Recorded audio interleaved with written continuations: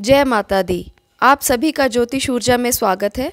आज मैं आपको यहाँ जो उपाय बताने जा रही हूँ, मैं ये मानती हूँ कि इस उपाय से आपकी इच्छाएँ इन नवरात्रों में ज़रूर पूरी होंगी। माँ हम सब के द्वार खड़ी है। अश्विन मास के शुक्ल पक्ष को दिन गुरुवार को नवरात्रे प्रारंभ हो रहे हैं।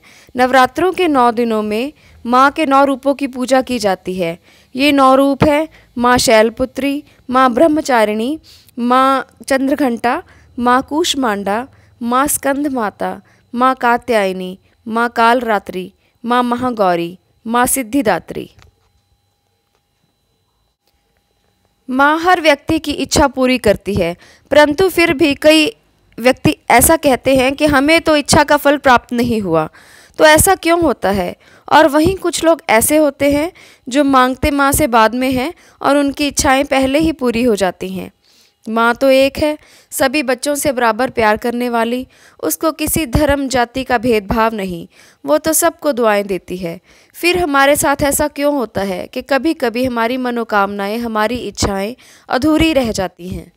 तो आज इसी बारे में मैं यहाँ बात करूँगी। देखिए यूट्यूब पर बहुत सारी वीडियोज़ ऐसी आपको मिल जाएँगी, जिनमें बहुत सारे ढेरों उपाय बताए होंगे। परंतु अगर आप मेरी ये वीडियो देख लेंगे तो मैं गारंटी करती हूँ कि आपको नवरात्रों पर कोई और उपाय करने की ज़रूरत महसूस नहीं होगी। आप जानते हैं कि माँ का अर्थ क्या है? माँ का अर्थ है प्यार देने वाली, सभी इच्छाएँ पूरी करने वाली, और नवरात्रों के इन नौ दिनों में तो माँ शक्ति का रूप भी है, यानी कि वो सबकी इच्छाएँ पूरी करेगी। माँ प्यार, साहस, शक्ति सब प्रदान करती है। ऐसे में माँ को अपनी बात मनाने के लिए एक बड़ा प्यारा सा उपाय है मेरे पास। आप पहले नवरात्रे के दिन सुबह नहा धोकर माँ की जोत जलाएँ। जो भी आप अपने घर में रीति रिवाज पुराने समय से करते आ रहे हैं, वैसे ही करें। उसमें कोई चेंज करने की ज़रूरत नहीं है। आप एक सफ़ेद कागज़ ले लें। उस पर अपनी इच्छा को जो आप चाहते हैं, जैसी भी आपकी इच्छा है, उसे आप अपनी इच्छा को उस कागज़ पर लिख लें। रेड पेन से लिखें, उस पत्र को लिखते हुए आप अपने मन में एक भी बात अधूरी ना रखें। जो भी आप चाहते हैं, सब उस पत्र में लिख दें। दिल खोल कर। उस समय आप ये ना सोचें कि मैं कहीं ज़्यादा ना मांग लूँ और कहीं माँ नाराज़ ना हो जाए। माँ कभी किसी से नाराज़ नहीं होती, इसलिए जो भी दिल में हो, सब कुछ लिख दें। अगर आप सेहत चाहते हैं तो भी लिख दें।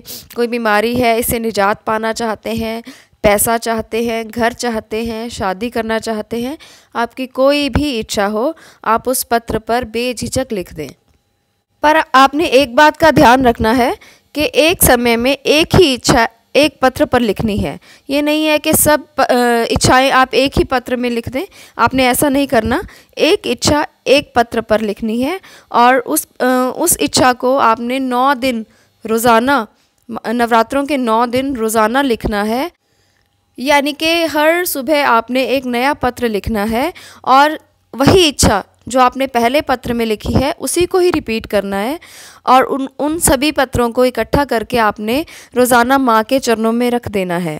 जब नौवा नवरात्रा आ जाए तो छोटी कन्याओं को भोजन करवाएँ और जो चीज़ आप माँ से लेना चाहते हैं या जो आपने अपनी इच्छा कागज़ पर लिखी है, जो आपने पत्र में लिखी है, वही इच्छा वैसी ही किसी चीज़ को छोटे रूप में कन्याओं को भेंट करें। जैसे कि अगर आपने कार की इच्छा की है तो छोटी छोटी कारें लाकर आप छोटी कन्याओं को दें।